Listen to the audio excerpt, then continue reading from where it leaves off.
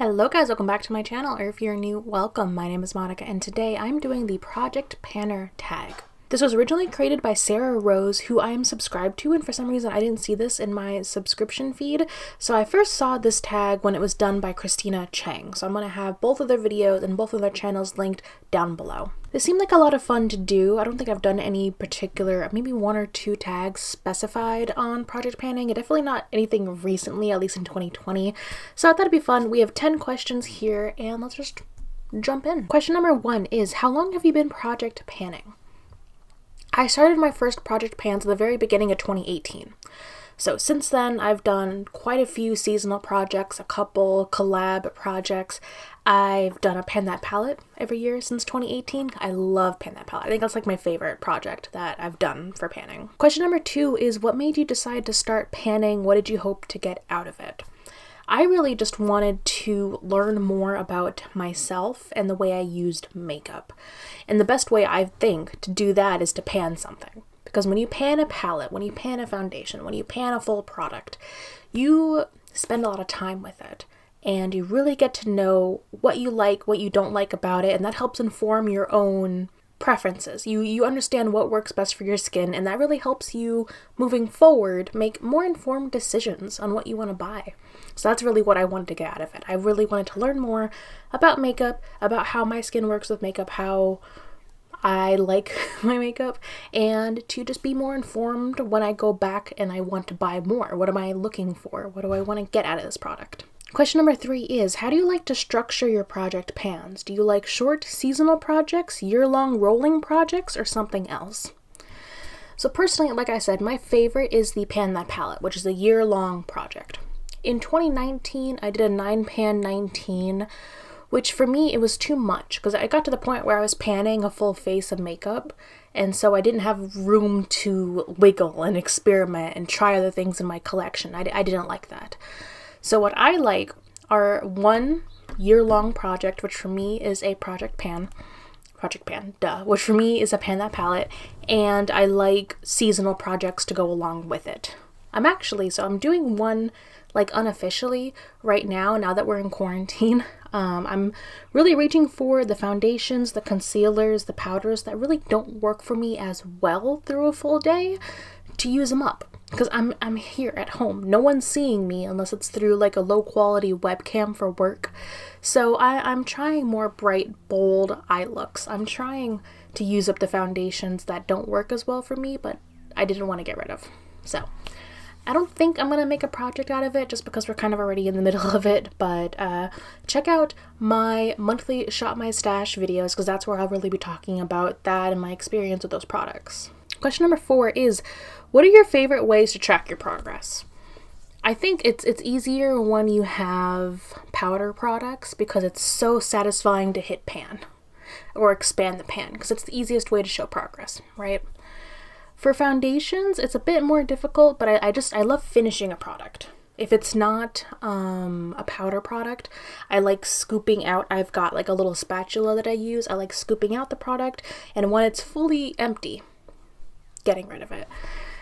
Uh, for me, I- I'm not as hardcore of a panner where I will mark the bottle, like, you know, where I see progress, but I really like seeing pan. I think my favorite way to do to see progress is in my powder products when I see pan or expand the pan or finish the pan. Question number five is What products have been the easiest for you to pan? I, I would say face powders.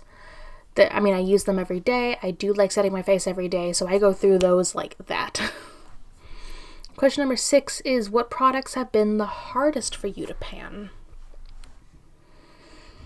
Blush. I tried to pan a blush, and I'll put my 9 pan 19 playlist up in the cards if you missed that last year. But I was not prepared to pan a blush, especially one that took that long. I tried to pan a blush trio, which I think was also an issue. I probably should have just stuck to one. But like halfway through the year, I gave up and picked just one pan to try and hit pan on. And I finally did it. I think I have a whole video where it's like it took me 260 something days to hit pan on a blush. And I was not ready for that. So I think blush is probably the hardest thing for me to pan. Question number seven is Are there any types of products that you rarely or never put in a project pan? I would say lipsticks. Liquid, bullet, whatever. I have never really wanted to try and pan a lipstick. I like having the variety, the options. And for me, it's difficult because I always pair my lip to what I'm wearing on my eye. So if like today, like I've got a really bold look, I just have chapstick on. that's it. I would do a nude lip or a gloss. that's it. So I feel like if I were to pan a lipstick, it would really, really limit what I could do on the rest of my face. And so I've never really wanted to ever pan a lipstick. Question number eight is Do you pan skincare or body care or strictly makeup? You know what? I would say, like, for the rest of my, I guess, beauty regimen, I just pan things naturally. I don't really have as big of a collection. Maybe not hair care. I think I have a lot of hair care products but I don't have as big of a collection, and so I don't tend to really need to do that because I tend to just use products, finish them up, get my new ones. For skincare, I have a little container back here. I have a couple of backups for products that I use daily, like my rosehip seed oil, my face wash, my like kind of go to things like that. But it's never really a, I guess, uh, what am I trying to say? I don't intentionally pan them, I just use them up. Like for me, skincare is just a normal thing, like an upkeep thing that I do daily. So I'm not going to put a skincare product in a project pan because I know I'm already going to use that up because I use it daily, you know? So that's kind of how I view hair care and skincare. It's a little bit different than makeup. Question number nine is What is your number one advice for a successful project pan? For me, I would say you need to pick a product that you like. Nothing is worse than hate panning a product. Now, it might that might be like working with a product that you didn't like at first and you found a way to make it work for you. That could definitely work.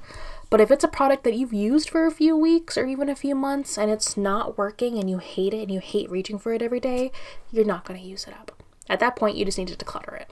For me, a good example of the opposite would be the shimmers in my blood sugar palette, my Pan That palette for 2020. I really didn't like them at first, couldn't get them to work for me, but I worked with them. I got some advice from the community in my channel, and I found two ways to actually make those shimmers work in a way that I love them now. So now I can use them, and I'm probably not going to have any issue panning them. So I think you need to give products that maybe at first try you didn't like, give them a good, honest try. But if like weeks and weeks later you're still not liking them, get rid of them.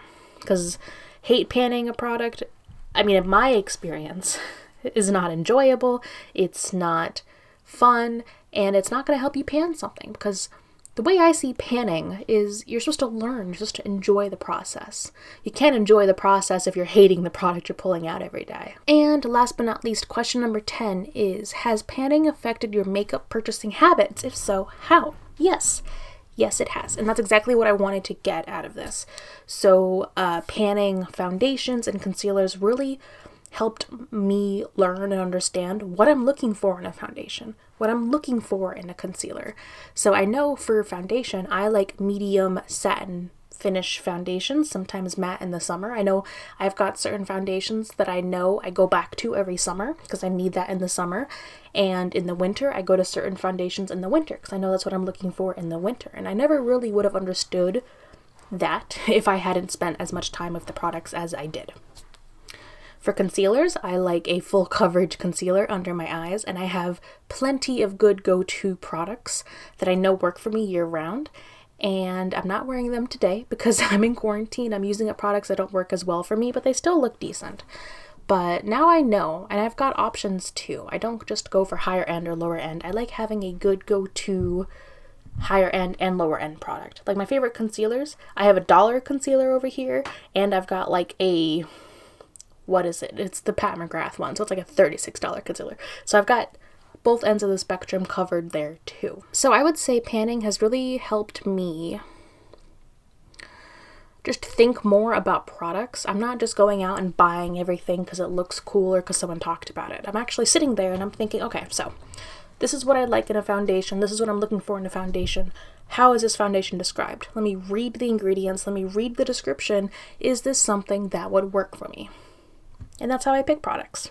And I feel like that is really how we as a community need to approach makeup and approach products because I feel like I think it's getting better now, but I think like at the height of this in like 2018, everyone was just buying everything because it was on YouTube and because the influencers were promoting it and because XYZ. I feel like we're getting better, but there's still more room to improve.